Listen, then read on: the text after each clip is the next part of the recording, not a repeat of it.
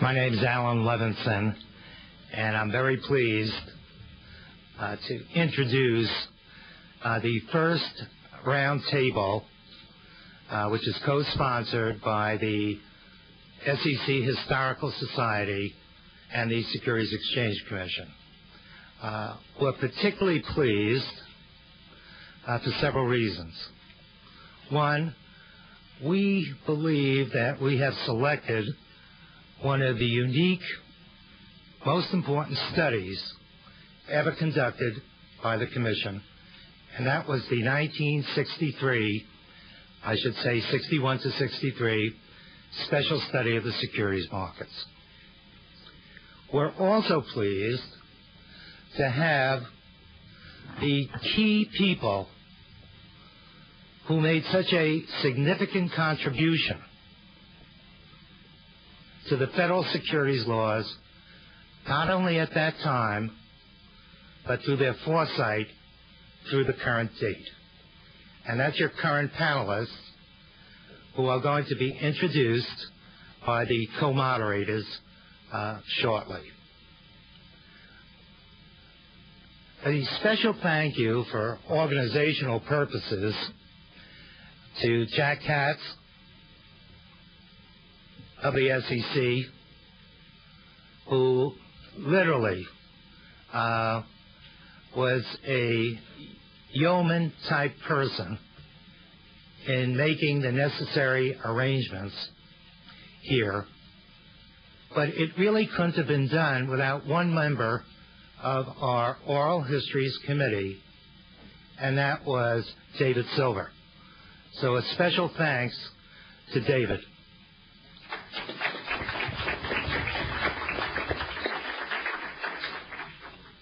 Uh, we're going to have two other uh, speakers.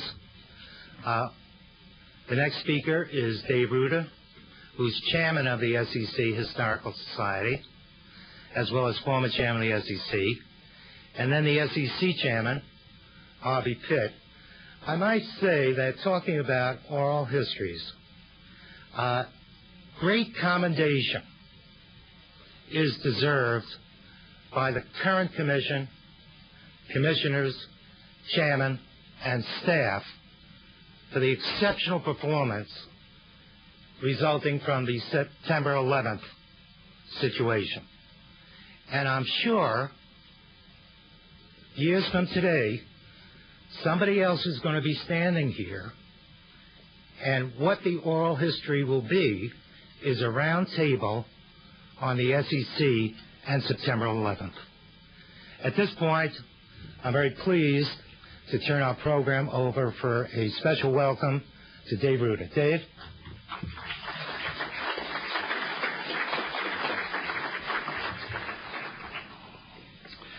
Chairman Pitt, commissioners, members of the Securities and Exchange Commission staff, members of the Securities and Exchange Commission Historical Society, roundtable participants, and, and friends. Uh, as chairman of the Society, it is my pleasure to welcome all of you to the Historical Society's first Oral Histories program, the Roundtable on the 1963 Special Study. The Historical Society was created in 1999 for the purpose of preserving the history of the Commission, to sponsor research and educational programs about the SEC, and to enhance understanding of the U.S. and the world's capital markets. This roundtable is the Society's first public program. Its second will be an SEC Major Issues Conference, Securities Regulation in the Global International Economy, to be held in Washington, D.C. on November 14 and 15 this year. Our society is still growing, and we thank all of you for interest and support, and we hope that you will attend our program in, in November. I could not make these remarks without offering my personal thanks to Harvey Pitt and Paul Gonson for their hard work and perseverance in creating the society. Harvey served as president of the society before becoming chairman of the commission. Paul was the initial SEC spark plug, served as secretary treasurer uh, of the society uh, and is now president uh, of the society. And on an intensely personal note, I want to acknowledge my enormous debt to Milton Cohen, who's here today.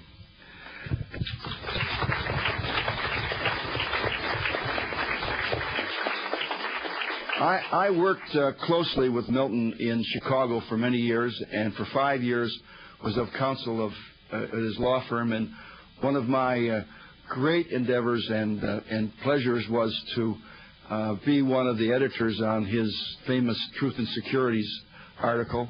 And for those of you who are historically minded, you will find a footnote in that article acknowledging that work. Uh, Milton, you educated me about the markets. You showed me the power of an unmatched, incisive, and creative intellect, and you inspired me to believe in the importance of the SEC's mission, and I thank you. Uh, it's my, my, great pleasure to uh, uh, introduce to you the current chairman of the Securities and Ex- Exchange Commission, Harvey Pitt. Uh, I don't believe he needs any introduction in this in this group, but I can say that it has been my pleasure uh, over many endeavors over past years to work with Harvey, and I couldn't have been more pleased that he was chairman of the commission at the time of the awful events in September.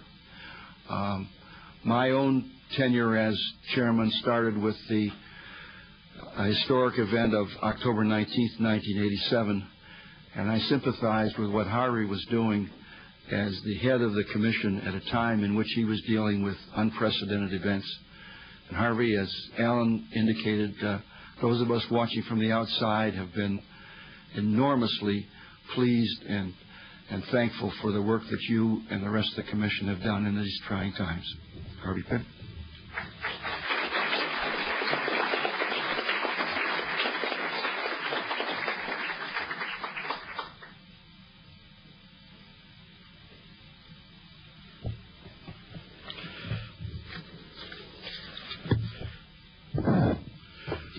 Thank you, uh, Dave and Alan, and welcome to everyone. Uh, this is um, an important first for uh, both the SEC and the SEC Historical Society.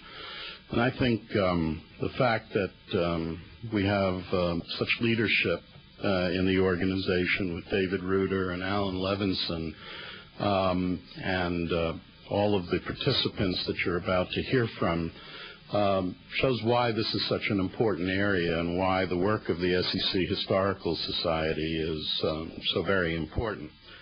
Uh, I would like to say that um, uh, I uh, appreciate all the kind remarks about the Commission's performance. Um, I think when you have the opportunity uh, to serve with um, wonderful people like Ike Hunt and Laura Unger, and fabulous staff, um, uh, too numerous to name, but all of whom uh, rise to um, uh, great heights uh, following in the traditions of the Commission that we'll hear a little bit about. It's easy for things to um, appear to go uh, reasonably well in a time of turmoil. On the other hand, I think we all believe that on-the-job training is not what it's cracked up to be. Um, Oral histories um, are important, uh, I suppose, because the old saw is if we don't learn uh, from history, we're doomed to repeat it. I'm not sure if that would be so um, uh, terrible, uh, given the uh, special study and what it did. Uh, I think this is, in particular, a unique opportunity for our staff and for the Commission. Um, I have to say I feel smarter uh, just being in the same room with what uh, Byron Woodside uh, called one of the uh, finest collections of talent he'd ever seen. Um, it sort of calls to mind uh, former uh, President Kennedy's great line when he was hosting a, a state dinner for um, U.S. Nobel laureates. I think he said, "This is the greatest collection of American brain power." Uh, to uh, convene for dinner since Thomas Jefferson ate alone. There's sort of a similar, a similar um, uh, kind of feeling about um, um, the special study. The agency that we um, are all somehow connected with has always been a special place. It has succeeded in attracting um, very talented and very uh, well-intended and hardworking uh, people. The um, special study was unique um, and still is. It's the only study the Commission ever produced that was called special, and it deserved to be. Um, it is and was very uh, special, and it catapulted the SEC um, to a level of significance um, in our country's uh, financial and economic history uh, that the Commission has uh, uh, tried to maintain ever since. Um, the study became front page news of the New York Times based on the um, uh, efforts that you're going to hear um, a lot about. It was a comprehensive um, look at market structure, and in some senses, as I'm sure Annette will um, testify, um, the uh, development of markets and market structure is uh, somewhat like watching a soap opera. Almost 40 years later, you can still pick up the special study and it's still relevant. There are still wonderful things in there. So I'm delighted that we have so many uh, former uh, colleagues from the commission um, and uh, so many people who worked on the study, of whom I think we should um, uh, all be uh, we should all be very proud. Um, uh, not by way of criticism, Milton, but um, it is said that success um, has uh, many parents, uh, but failure is an orphan. And um, as uh, hard as it may have seemed back then when you all were working on the study with a very small group of people, since then the number of people who claim credit uh, for working on the special study is so large that I would have thought you could have done it in a much shorter period of time. Um, but uh, putting that to, to one side, I think there are two people um, who deserve special recognition in terms of the um, uh, efforts that produced the special study. The, the first was Bill Carey, um, who set a wonderful um, uh, standard uh, for uh, SEC chairman and who saw the need and the importance of this study. And the uh, second was Milton Cohen. I've known Milton for quite some time and um, everything you've heard about his intellectual prowess, um, his uh, dedication, his energy is all true, but possibly understated. So I think everyone um, owes um, Milton a, a, great deal of thanks for producing an incredible work of lasting significance.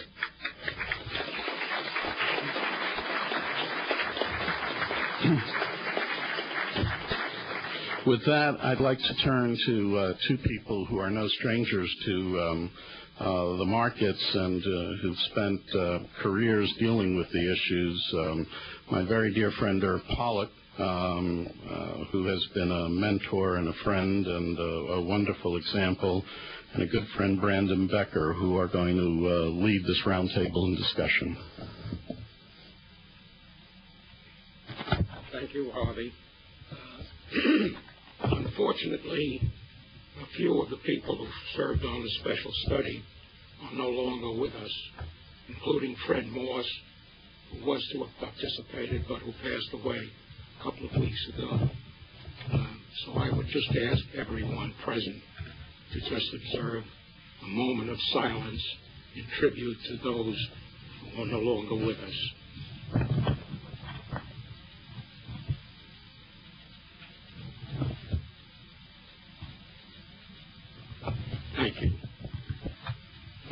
some things have been said about the director of the special study.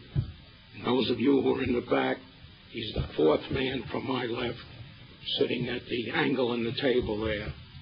I don't think anything you could say about Milton Cohen would give due credit for his practice, not only in the special study, but in his early years here in the commission, which he joined in 1935, where he served in the Corporation Finance Division initially and then in the very important Public Utilities Division.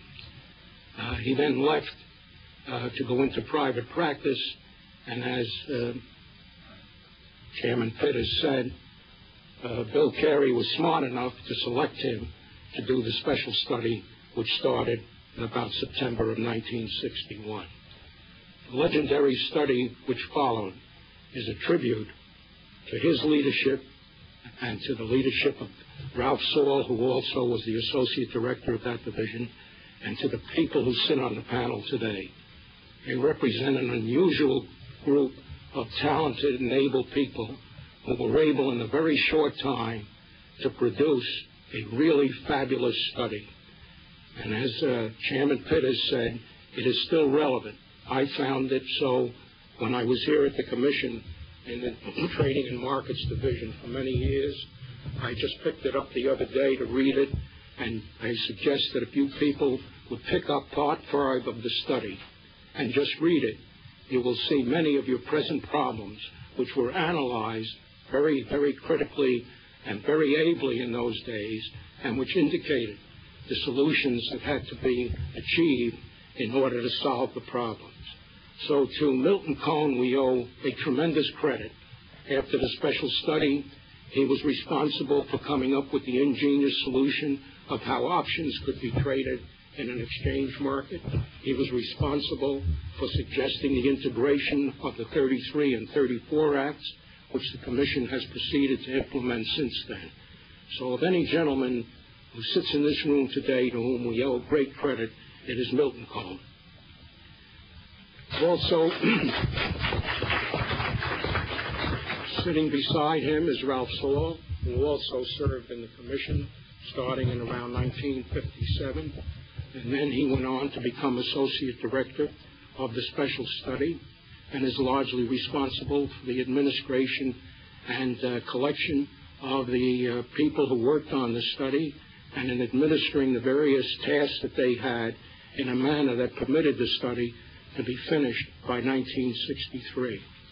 Uh, Ralph then came back and served as director of the Trading and Markets Division, and then left the commission uh, and served as president of the American Stock Exchange and chairman and CEO of uh, the uh, Cigna Corporation, and before that as chairman of the executive committee of First Boston.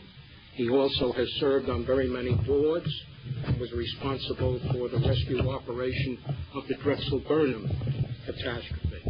Uh, so he has had a distinguished record in the field, both as a corporate uh, governance person and in the legal side of the business. Uh, let me see, Gene Rotberg, who sits the second from me on the right, uh, also was at the commission in the late 1950s, where he served in the Corporation Finance Division. He then was picked to do a special study job, where he was in charge of over-the-counter market study and the underwriting study uh, report that was prepared uh, by the special study. After that, he came back into the Division of Trading Markets, uh, where he was Associate Director and in charge of the regulatory side. He also served as General Counsel of the Special Counsel's Office at that time. In 1968, he left to become Vice President and Treasurer of the World Bank, where he also had one of the most successful careers. And since we're discussing securities, he ran a $8 billion trading fund at the World Bank, which included, as I understand, the pension monies for the World Bank employees, and it was probably the most successful trading operation of any government or quasi-government institution. Kept leaving the World Bank. He went on to be executive vice president at Merrill Lynch, and he now serves on boards around the world. So he hasn't retired either. Lastly, but not least, is Judge Stanley Sporkin. Stanley Sporkin uh, went to work at the special study uh, as an initial employee of the commission and uh, was in charge of the financial responsibility part of the report that ensued thereafter. Uh, he then came to the Division of Trading and Markets, uh, where he was in charge of enforcement for many years. And uh, the last seven years, he was the director of the Enforcement Division. So after a 20-year stint at the Commission, he went on to become General Counsel of the CIA, and thereafter was appointed uh, judge of the United States District Court here in the District of Columbia, where he served until 1999. He had a fabulous record as a judge, established a degree of uh, court ingenuity that is rarely seen uh, by a jurist established an outstanding reputation for his judicial services. He is now with a private law firm, Weil, Gotshal, and Manges. Uh, the rest of the panel will be introduced by my brilliant co-moderator here, Brandon Becker. Uh, yeah, uh, from your lips. Uh, to my far right is uh, Bob Birnbaum, who uh, served at the Commission from 1961 to 1967. Uh, his area of expertise, uh, prophetically, was the study of regional exchange markets and stock markets while at the uh, study. After leaving the commission, he served at the American Stock Exchange from 1967 to 1985, serving as president of the exchange from 1977 to 1985. And then in one of the remarkable uh, feats uh, he crossed the graveyard and served as president of the New York Stock Exchange from 1985 to 1988, uh, and then served as counsel, uh, special counsel to Dechert from 88 to 93, assisting uh, the exchange in dealing with a wide range of enforcement and disciplinary related matters. Uh, Bob has been a, a wise counsel uh, throughout exchange regulation and has helped many of us in understanding how markets work and keeping the commission uh, focused uh, over the years. Uh, to Bob's left and my right is Norm Poser, who served in the area of financial uh, public relations for the special study and publication of financial information. He began at the SEC in 1961 in the Division of Trading and Exchanges, where he was assistant director of that division after his work on the special study. He left the commission in 68 to join the American Stock Exchange until 1980 when he became a professor at the Brooklyn Law School where he continues to teach today. Uh, all you need do is punch up in Lexis uh, any of his groundbreaking articles and you can look at the last decade of market reform at the commission uh, and you've, you've read any of Professor Poser's articles, you uh, can anticipate where those reform efforts went next. Uh, his treatises on broker-dealer regulation and international securities regulation continue to help those of us who try and figure out what the rules might be. Uh, to my right, to Irv's right, is Fred Siesel, whose area of expertise in the special study was in economic analysis. After the conclusion of the special study, he served in the Division of Trading and Markets at the SEC until 1969. Uh, he worked at Weeden and Company from 1970 through 1978, and then performing a feat almost as amazing as going from the American Stock Exchange to the New York Stock Exchange. He went from Weeden and Co. to the New York Stock Exchange in 1979, uh, where he recently retired this summer and led a distinguished career there uh, in helping them assess uh, market operations. To my left and to Stanley's left is David Silver, uh, who focused on the New York Stock Exchange, its specialists, its floor traders, its odd lot dealers, and commission rates uh, during the special study. Uh, he began his work at the Commission in 1960 in the Trading and Markets Division and worked in the Division of Market Regulation after the conclusion of the study. Many of you will know David as president of the Investment Company Institute from 1977 to 1991 and president of the ICI Mutual Insurance Company from 87 to 2000. Uh, certainly the enthusiasm and leadership he brought to the mutual fund industry uh, as it grew over the last two decades is part of the reason why the oversight mechanisms for that industry uh, has caused it to be the source where America's retirement funds are located.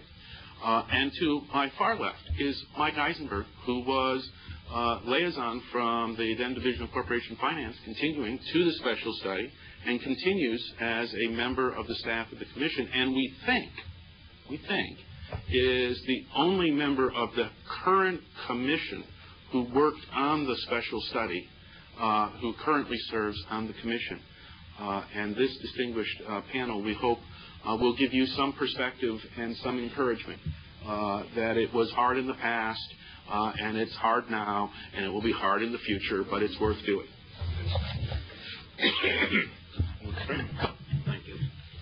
Uh, we're going to start first with uh, the subject of why was there a special study?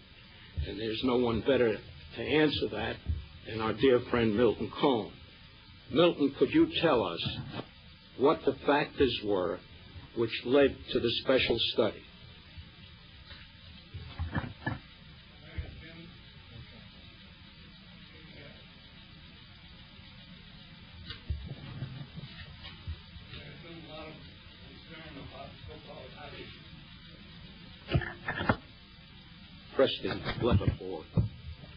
And there had been a scandal at the American Stock Exchange involving the firm of Re and Re.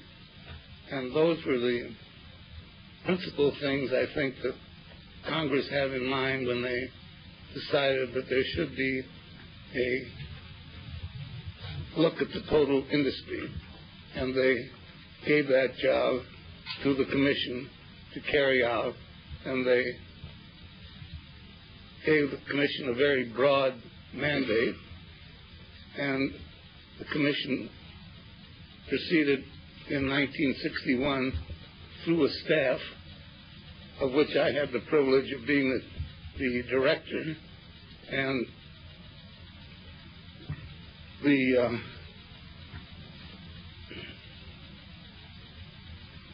the commission felt that it could leave the, the work to the staff and only go over general ideas which the staff kept reporting to the commission what they were up to, what they planned to do, and the commission would consider it, and they never controlled what the staff was going to do, but they always were aware and and approving of what the staff was going to do. When the whole thing was over, he submitted a report. It was called a report of the staff of special study to the commission, and this was put forth in this great uh, uh, volumes that you've been told about, but the, there were two sources of objection to it. One was the Congress. The minute they saw the study coming from the staff, they sent word back that they wanted a report from the commission and not from the staff. So that the commission had to go through what we had done, what they were familiar with in general, and uh,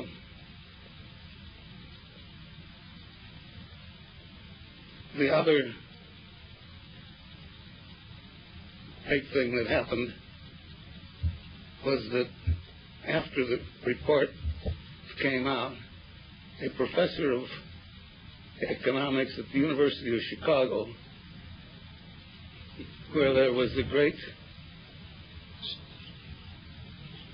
source of market, anti-regulation and pro-market control of the markets.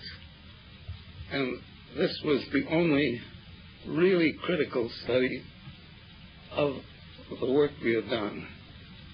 It was really a, a very strong, strongly worded indictment of everything we did. And what really got me going, it still makes me angry, is that as he went through the thing, he never called it anything but the Cohen Report. and,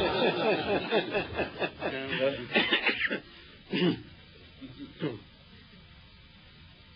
so I guess that explains best I can the answer to your question.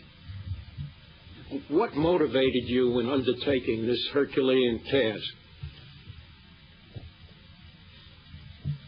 Well, back in Chicago, where I was practicing law after having left the commission after the uh, uh, Public Utility Holding Company Act was pretty far along. Bill Carey was a professor at Northwestern Law School and a friend of mine, and we just bumped into each other sort of by accident, I think. And it turned out he was looking for somebody to head up the special study, and he remembered that I had done this work on the Public Utility Holding Company Act, so he said, "Would you would you take it over?" And I said yes, and uh, that was how I got to be chairman, the director. Uh, Ralph, you were responsible in helping to staff this uh, group of people. I think it would be helpful if you could uh, give us a resume of how you went about choosing the people to do the study and perhaps how you organized the various projects uh, that the uh, talented people were assigned to perform. If I'd say the putting together this wonderful team was ad hoc. Uh, uh, Milton and I on the way down, Milton and I on the way down were trying to recollect about how how some of the these people came to the study, and actually uh, uh, some uh, uh, were recommended by Bill Cary. I think Bill Bill had a number of people. Dick Paul, who was one of those who unfortunately uh, died recently, uh, was the general counsel. There were many others that came from the commission staff, Gene and Fred Moss, Bob, Bob Birnbaum, Norm. So there were quite a number in the Division of Trading and Markets at the time who came on over. And then I think some from Corp Fin. Then there were others, what was very interesting, I think there were others that were recommended by staff people. Uh, in fact, our good friend uh, Judge Sporkin, I think, came from some rec- I don't know who recommended. I've got to find that out. uh, but you were, as I recall, Stan, you were with a law firm here in town, weren't you? Specializing, I think I'm going to show, I'm going to test my memory, specializing in FCC law. How do you like that? Anyway, I don't know who recommended you, but anyway, I remember we interviewed Stan and I hired him immediately. What was that? We're still looking for the guy who recommended it. Uh, But I would say in answer to your question, uh, Herb, it was ad hoc, uh, but we singled out, uh, we tried to single out very talented people, and I can just look at the group that you have here. Uh, In terms of the- your second question, organizing the study, uh, you know, I made a contribution, but it was Milton Cohen who organized the study.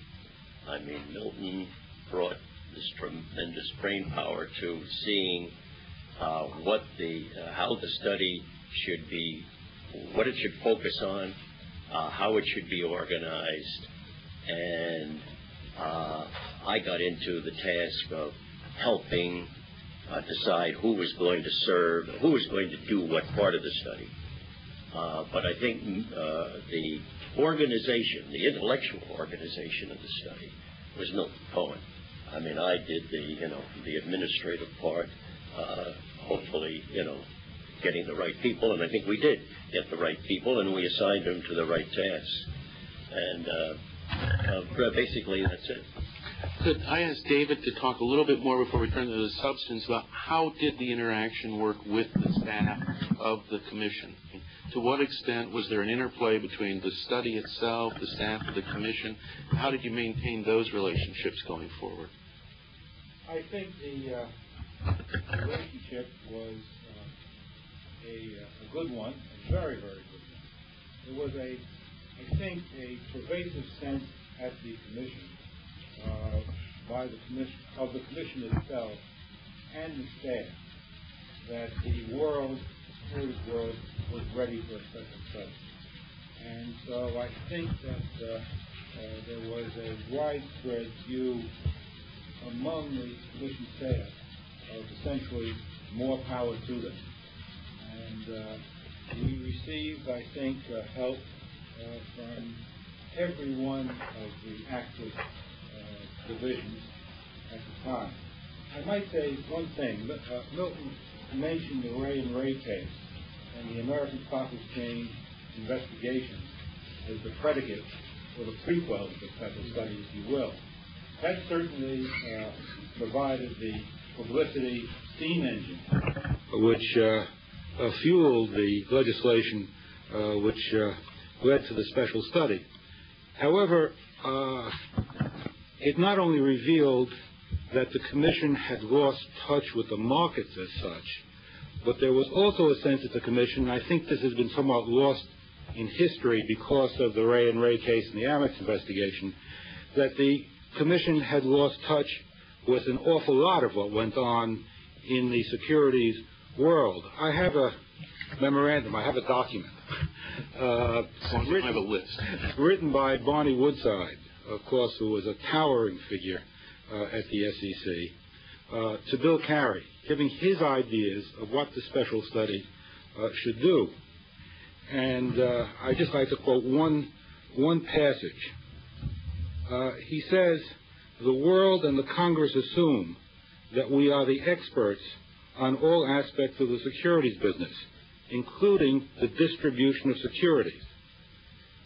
C, that's his next letter, C, anyone making the assumption referred to in B as to our expertness as an organization, or even our knowledgeability on the subject of the process of distributing securities, is indulging in serious error, and we better be the first to realize it.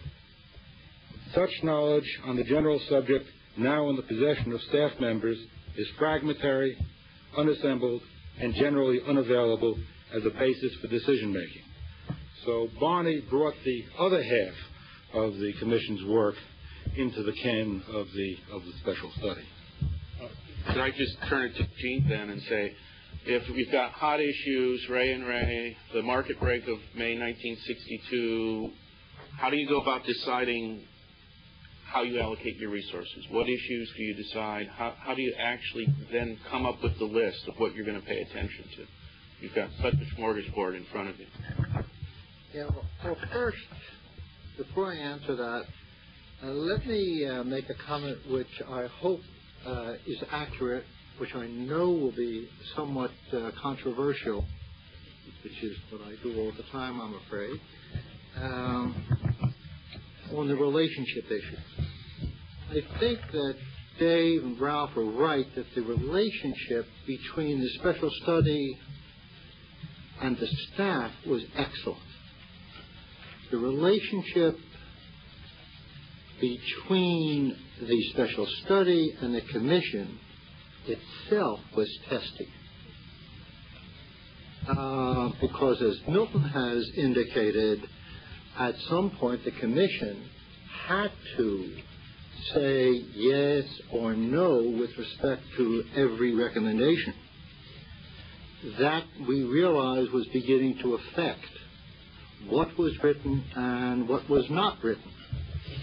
I think it's fair to say that most of the staff at the commission at that time had, for want of a better term, a healthy cynicism toward the commission itself in the sense that, look, we don't know what's going on in the markets. You don't know. We are not political.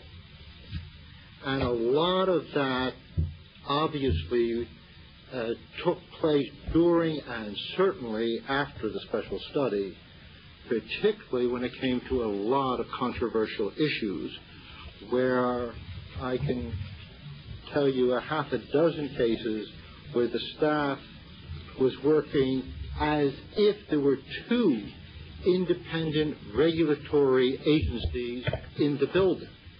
One was the Securities and Exchange Commission. The other independent regulatory agency was the Division of Trading and Markets. Um, That's still the case, uh, having said that, um, and you saw the staff during the study and after the study uh, working with Justice Department, regional stock exchanges, parts of the securities industry, the third market, uh, to implement things in the marketplace or in the legal system outside of the Commission's regulatory authority because of a bit of unease whether the Commission itself as an entity would be able to act. Um, I think, fortunately, I know that has changed. In answer to your question, Richard, um, it was pretty much the truth uh, he had that it was ad hoc. Uh, that is, Dave knew about what was going on with respect to odd lot dealer specialists and floor traders. Uh, there was another group which said, look, stock prices come out on new issues. I don't think the term IPO was known at the time. at $4, the next day it's 8 How come?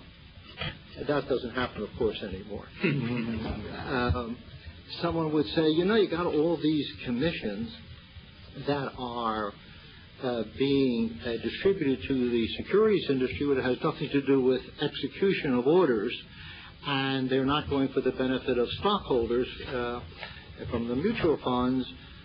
It's funny because the firm who's doing all the work isn't getting paid for it. And fortunately, uh, that issue, I understand, has also been solved.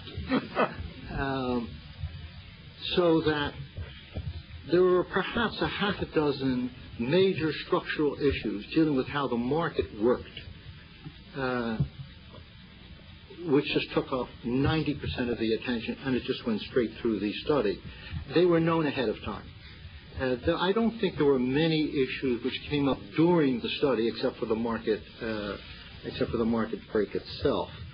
Um, and essentially, was staffed, as you know, by lawyers. And Dave just pointed out to me walking over here that there is an enormous body of factual information, very little policy in the text. That is, this is what people do for a living, this is why they do it, this is their rate of return, this is, these are the motivations, these are the conflicts, these are not conflicts, this is why a given person does what he does, this is how it's financed. It was just this huge body of information. My own personal view is that the great quality of the study is not the regulation or the laws which came or didn't come out of it, but rather this accumulation of simply how the securities markets work.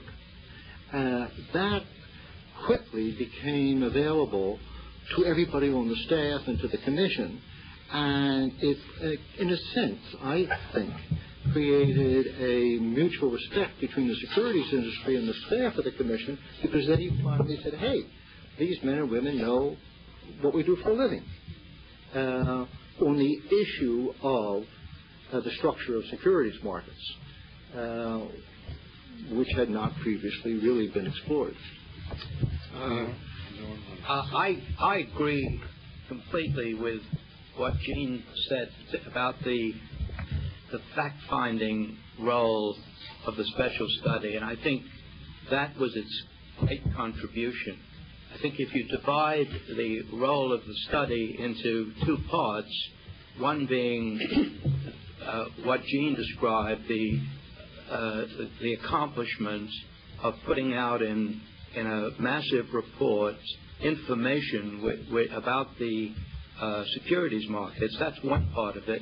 The other part is uh, the normative part, the recommendations uh, that were made.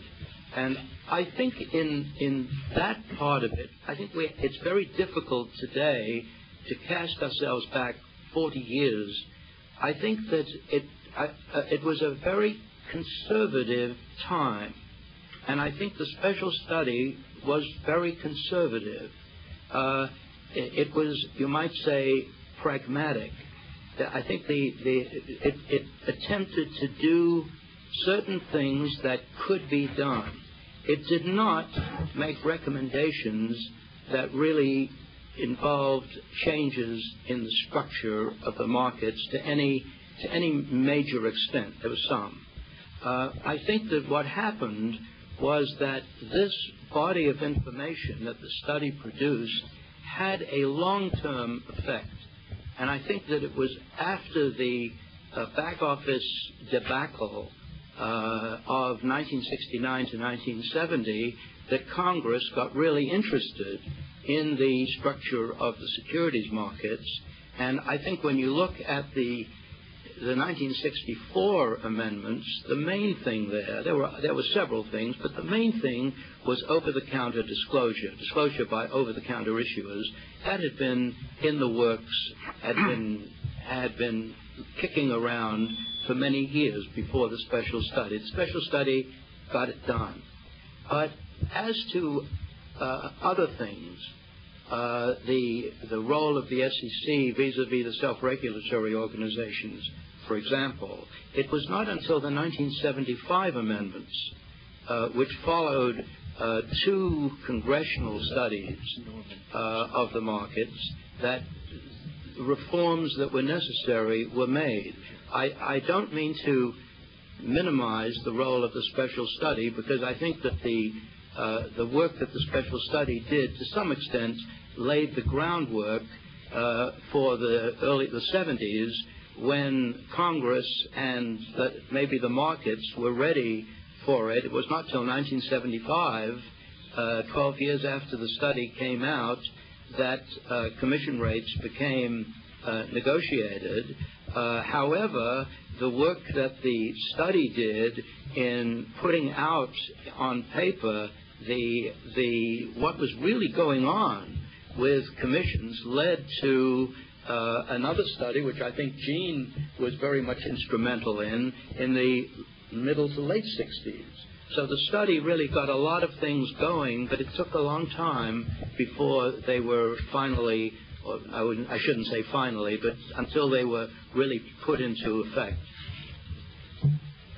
I, uh, I'm not sure. I think Ralph and Milton would know a lot better than I would, but I don't uh, recall, as Gene mentioned, the tension with the commission, because as I recall it, it wasn't until Milton and Bill Cary went up to Congress to present the special study that Congress at that said, we are not accepting the study, uh, Commission, uh, Chairman Cary and Mr. Cohen, because we want to know where the commission stands on every recommendation. It wasn't until that day that the commission itself found out that they're going to have to have a position on all of these recommendations. So I don't think, I didn't see in myself anyway, but of course I was so low down the totem pole, I would, wouldn't have known, but I didn't sense there was any uh, tension with the commission itself. I think they were very supportive, and certainly Bill Cary and Art Fleischer, who we used to have a lot of battles with, were certainly involved all the time.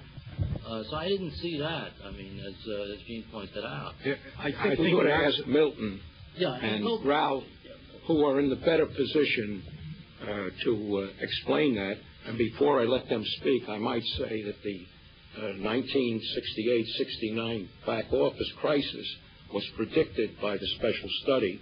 If you read the special study, they said that unless something was done for the clearing and settlement process, we were going to face that tobacco, and they proved correct because I had to deal with it, and I regretted that I hadn't paid more attention to the special study. But let me ask Milton and Ralph, and might I ask, when you address this, one of the questions that is posed is, was it an advantage that you at least were not directly within the commission as a special study, rather than having been a operating section of the commission itself?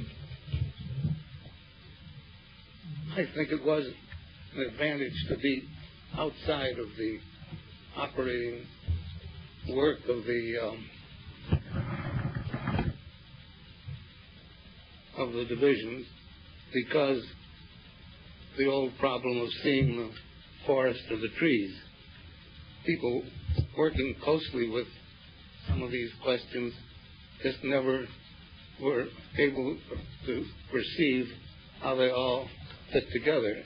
And it took something like the special study to relate a lot of things that had been happening, but people hadn't paid attention to, and some things that were in the process of happening. We were, I think, the first to spell out at the commission level some three things that have since dominated the market scene, but which really weren't perceived or paid attention to until after the special study.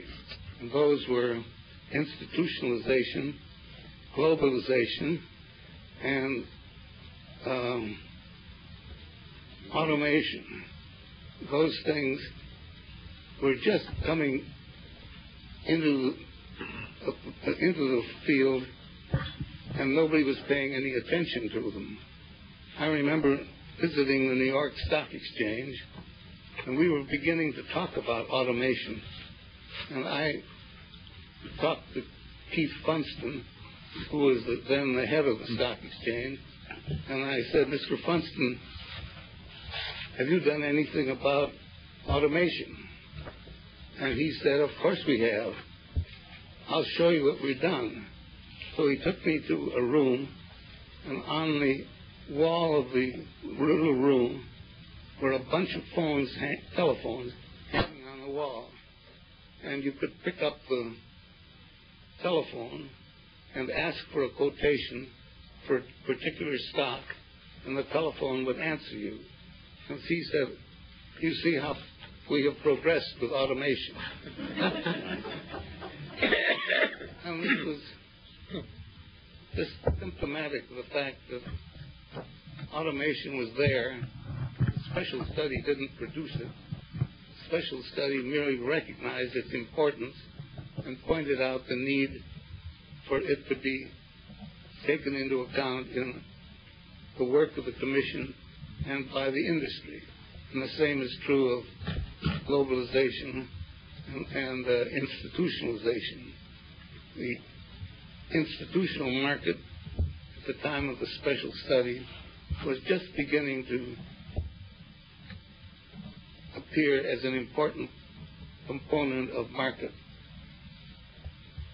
Most orders were individual orders, and the prices were fixed by individuals trading, and no nobody was noticing the fact that these great institutions were, were beginning to dominate the market.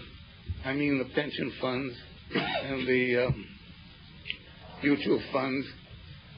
And again, we didn't create the forces of those factors, but we did talk about them and awakened awareness to their importance. Ralph, would you Could I- say could I add- something? Could I add one thing, Herb, to what uh, Milton said? I think, uh, too, there was another thing that was incipient at the time of the study, and that is the coming of the idea of deregulation of the markets and the relying upon, you know, the markets themselves for regulation. I think that whole movement was just was beginning to start, and of course blossomed in the 70s, and of course came to full flower in the 80s. Uh, I would think that was another. Uh, would you agree with that, Milton? That was another factor that uh, was not on the scene. That, that was not on the scene in the early 1960s. The whole concept of, of deregulation is using that as a, and using the market as a tool to control behavior. I don't think I would quite agree with you, Ralph. I think that on the whole, we in the special study believed in regulation and not the power of the markets. The, study was dominated by, we, we had some good economists, but it was dominated by lawyers who thought in terms of legal norms. And we, I don't think, paid enough attention to the emerging importance of the market itself as uh, determining how things were going to happen. I disagree. Well, I, no, all, I- no, all I'm saying, Milton, is that the concept of deregulation had not arrived on the scene when we were doing the study. That's right. And we would have had to deal with it. That's all. I'm not disagreeing with you on, you know, I mean, obviously, uh, the study was, was a regulatory study. And I think most of us around this table believed in some kind of reasonable regulation of it. Uh, let me just follow up, if I may. I understand the reluctance of the commission to ad hoc approve all of the recommendations that the special study was coming forward to. But what I would like to address is the relationship between the special study and the commission with respect to the inquiries that you were making during the special study. Was there influence by the commission which at all debilitated your ability to carry forward your study? I don't think so at all. we did, as I said before, keep the commission informed of what we were doing. And of course, they had opportunity to make suggestions or criticisms. And to that extent, they might have influenced our future uh, conduct of the study. But there was not at any time a tension between the commission and the staff. I think our, our inquiries were not at all limited by the commission. The disagreements, the extent there were disagreements, came with recommendations, but it was nothing but unstinting support for the inquiry itself. As a matter of fact, when we ran out of money at one point, uh, I discovered that the Census Bureau had something called computers, and it would be very helpful to do a trading study of New York Stock Exchange specialists. Uh, Milton and Ralph went to the commission, and Bill Cary gave us $17,000 uh, to pay the Census Bureau to do the study uh, without any uh, reservation at all. Also, the special study staff learned, I think what every generation of staff members learned, that probably the most effective way of communicating with the commission is not to send a memoranda, but a judicious call to a New York Times reporter or a Wall Street Journal reporter will get the commission's attention very quickly. But Dave was an expert. You know, I might, I might say, I've got, I've got one thing to add to that. Uh, Dave, Dave taught me the fine art of leaking. That, that's because he liked that woman reporter on the New York Times. First Fred, and then Michael, and then we'll have to take a recess. But as, as, Chairman Pitt and others um, mentioned, the I think the biggest impact of the study was the was on the commission itself, with especially with respect to market structure, and it was just at a time when you, you, the institutionalization of the market was starting. You had block trading starting, and uh, and and you also had that tension between the growth of block trading and institutional trading and the fixed commission rate structure on the exchanges where uh, it was based on 100 shares and the rate was 10, 10 times for 1,000 shares what it was for 100 shares. And that led to uh, all sorts of give-up prices and practices and reciprocal practices, which Gene had conducted hearings on in the uh, in the late 60s. And so, and this, and the end point of that was really in 1975 Act amendments with the with the fixing of rates. The um, and, that was the context in which it was almost perfect timing in one sense that the study came out at that time, just as these changes in the market and the market structure were were beginning to take place because they had a direct bearing and impact on that structure. Um, with respect, uh, Ralph referred to deregulation and to uh, um, the, the study itself didn't well, it made, made a recommendation on commission rate that there be a volume discount established and uh, to, to to change the pattern. But the the danger was that the study was that the commission would be getting into the business of rate regulation, which it really hadn't been in before. And I think what uh, one of the footnotes I want to add was in there was a member of the special study. If you look in the transmittal you won't find his name as a member of the special study, but that was a bit of subterfuge.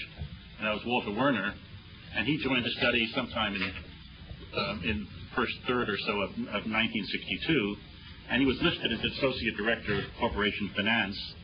But Walter was really on the on the uh, on on the key member of the special study. And after the uh, after the study was over, he became uh, director of policy planning, and uh, Chairman Cary quickly changed that to policy research. And uh, and Walter was the first person to propose and suggest that commission rates be unfixed, and uh, and that was sort of the deregulation move that uh, that started. I think there were as many people stunned by that idea within the commission as there were outside the commission, and uh, and I just wanted to uh, make that part of the record that he was the he was the source of that idea within the commission. It's funny. Uh, Ralph and I, when we were at the commission, we thought Walter had a terrific idea about uh, getting, unfixing the rates. But somehow, when we went to the American Stock Exchange, Ralph and I had a complete change of heart. I, I just I just want a couple of things. Uh, one is that uh, not being part of the uh, commission, being a uh, sort of insulated from the commission, the study had a freedom to explore things, uh, and the junior staff of the uh, of the study did explore those issues, and I think it was pretty clear that uh, uh, members of the uh, staff had certain interests that they were going to pursue. I mean, nothing was going to stop Dave Silver from exploring what was going on with floor trading, or and a lot of that had to do with what they learned from the Re and Re case, which was really a very significant event, even though a lot of people here don't know what Re and Re uh, was about. But it showed there was real trouble, and it wasn't in Denmark. It was downtown, and it had to be looked at.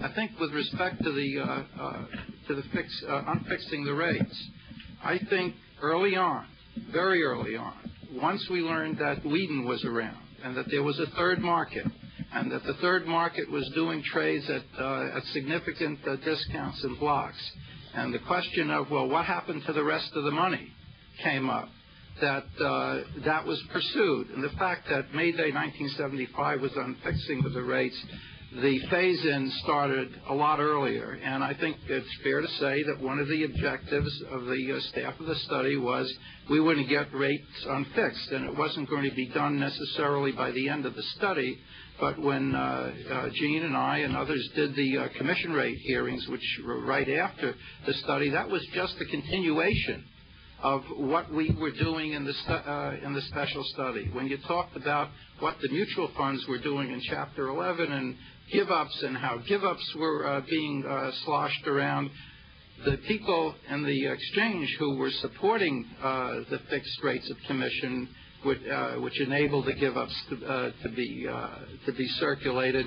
Was, and we were in effect saying, well, you know, let the market do this. And they're saying, you're a bunch of communists. What we need is the government to support us in the fixed commission rates. And that got us to antitrust and the Kaplan case and what the commission's role was with respect to antitrust, which was a centerpiece of uh, the commission rate hearings after. So the history of the commission is sort of a continuum uh, that the special study was the starting place. You got the facts. I mean, we actually went to Wall Street, spent weeks at firms finding out what it was they did. And we, at the end in the study, knew more about what was going on than the regular staff of the commission, and that was transmitted. I mean, we would meet with Barney Woodside and with Manny Cohen. By the way, Manny Cohen thought calling it the Cohen study was a terrific idea. Uh, uh, and they would, they'd say, and we'd sit around with them and say, well, what'd you learn when you went up there? And in addition to telling war stories, they really were interested in knowing how was it that the market works, and that energized uh, the commission. I think tribute goes both to uh, Chairman Cary and to uh, Chairman Cohen, uh, who were in- instrumental uh, in moving it along. And I don't think it was the conservative uh, group in the special study at all. Don't forget, this was the beginning of the Kennedy administration. There was still uh, the idea that service in government was a good thing, that the denigration of the uh, of the civil service and of the people who worked for government didn't come until much later in the Reagan administration, and that serving at the commission and serving on the special study was an honor and was a great thing to do, and uh, that spirit carried through the special study uh, basically under Milt's, uh, uh, Milt's leadership. And I think that spirit and that feeling had a lot to do with why 90% of the special study people turned up at the 25th reunion. I mean, there was uh, this esprit de corps there that uh, was uh, was hard to duplicate. Stan, Yeah, I- one, one, just one more, and then we'll try and break. Yeah, let- let me tell you what it was like. uh, from- What it was really like. as a young person working here, uh, Milton Cohen was a tough taskmaster. He uh, would make uh, Marty Schottenheimer look like a uh, puppy dog. he insisted. He was a lot more.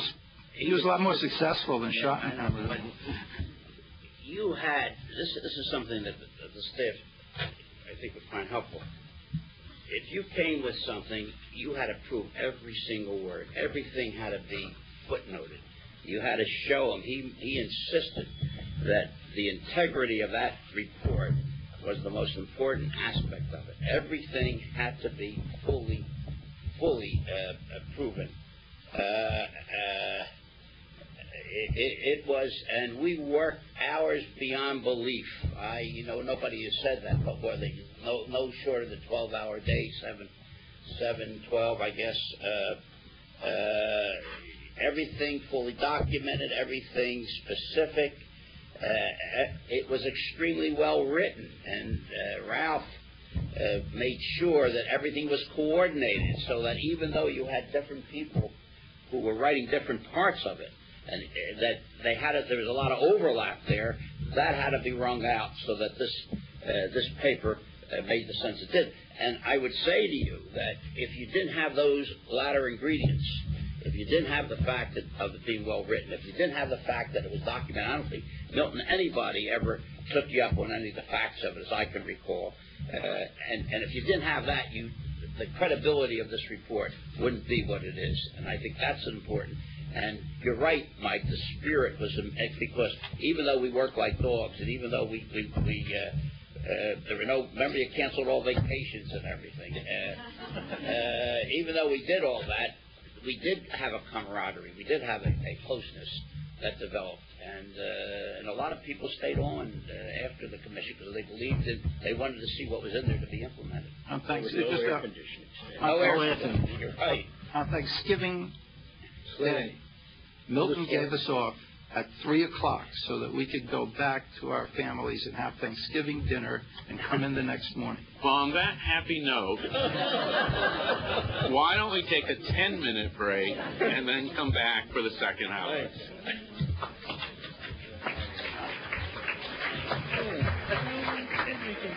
Yeah.